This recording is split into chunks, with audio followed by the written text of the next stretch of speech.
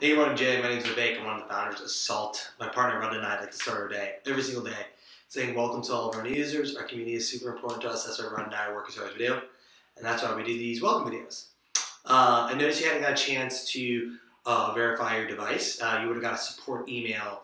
Uh, if you look it up uh, in your email on your phone, click on that email on your phone.